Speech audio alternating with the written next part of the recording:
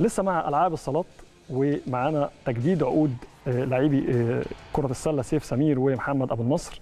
هيستمروا مع سلة الأهلي لمدة أربع سنوات إن شاء الله. وكالعادة بعد الإنجازات والبطولات لازم يكون في آه، تدعيمات للاستمرار على المنافسة على القمة والحفاظ على اللي وصلنا له واللي الفريق وصل له في مختلف الألعاب الحقيقة يعني. خلال الأسبوع الماضي أعلن النادي الأهلي تجديد عقود بعض اللاعبين واللاعبات خصوصا في فريق كرة السلة. مدير النشاط الرياضي الحقيقة كابتن خالد العوضي عامل مجهود كبير جدا مع مجلس إدارة النادي الأهلي وبالفعل تم تجديد عقود آه، سيف سمير ومحمد أبو النصر نجمي فريق الكرة السلة لمدة أربع سنوات.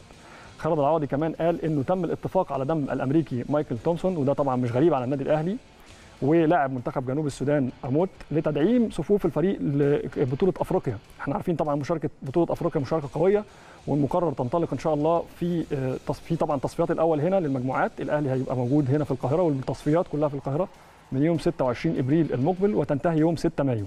هتقام هنا في مصر على آه، آه، بعد كده أن تقوم النهائيات يوم 21 مايو ولحد يوم 27 مايو من الشهر نفسه في رواندا. وقرر طبعا الجهاز الفني للفريق بقيادة آه، الأسباني أغوستي بوش آه، وضع برنامج إعداد من أجل الظهور بشكل مميز وتحقيق اللقب. ده بالنسبة لكرة السلة رجال عندهم منافسة قوية في بطولة أفريقيا نتمنى لهم كل التوفيق وإن شاء الله يكون اللقب من نصيبهم.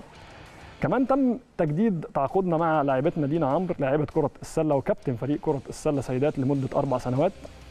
الدعم على كل المستويات وطبعا بالتوفيق لكل فرق النادي الأهلي زي ما حضراتكم عارفين إنك توصل للقمة تحافظ عليها إزاي؟ بإنك تبقى متطور دايما بتدعم دايما فرقك بتجدد عقود اللعيبة المميزة.